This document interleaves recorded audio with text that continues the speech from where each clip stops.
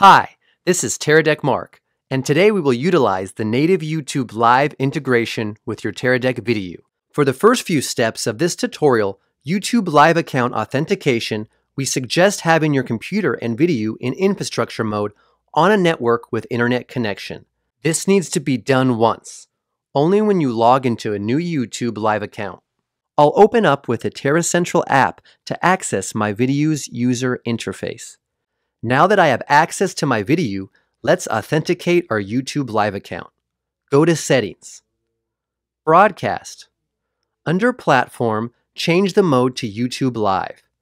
Click Authorize your VidiU. Go to the URL, select the YouTube Live account you wish to authorize.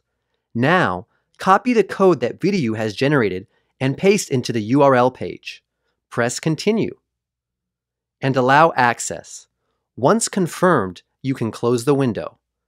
Back to the VidiU settings, you will see a confirmed authentication. Click Continue. Now that your VidiU is authorized, you will only need to repeat this process if you are connecting to a different YouTube account. If you already have events created on your YouTube Live account, the events list will auto-populate. I do not have an events created. Let's create a new event with optimized settings.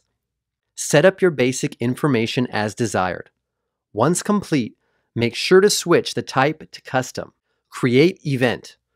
Now at ingestion settings, select custom ingest. Let's go back to the VidiU settings page and refresh the events list. You will now see the channel we just recently created.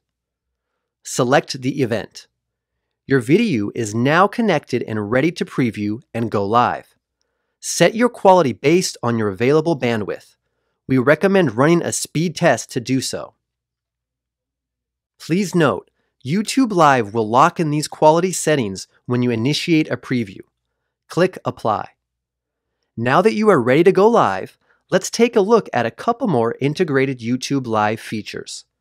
As you may know, YouTube Live allows for a preview of the stream before going live.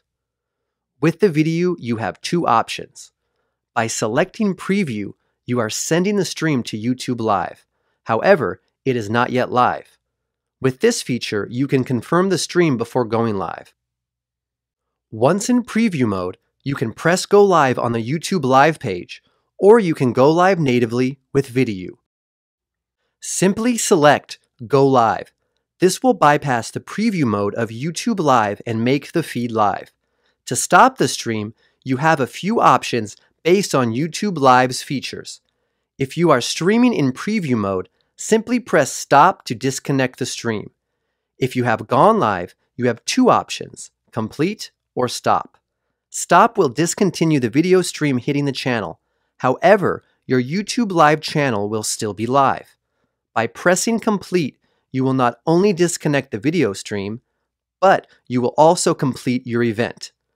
For further or advanced technical support, please email support at teradek.com.